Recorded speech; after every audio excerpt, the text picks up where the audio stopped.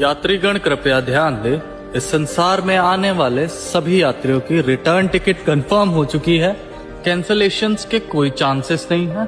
तो कृपया करके यात्रा का आनंद लें। आपकी यात्रा मंगलमय हो।